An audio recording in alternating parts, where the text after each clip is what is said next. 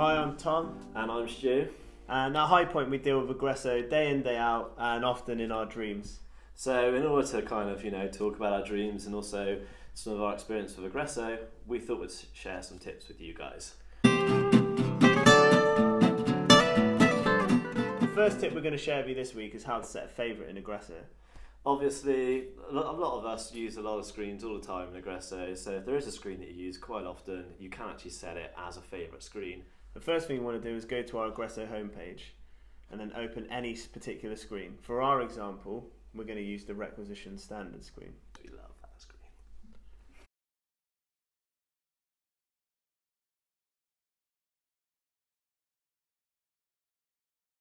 Once the requisition standard screen open, we want to navigate to the right hand side in the top corner where we see the heart symbol.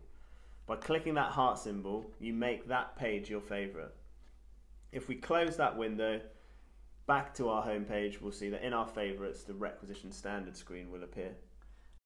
And you can also access that screen from the top Agresso toolbar just by clicking on that little heart icon.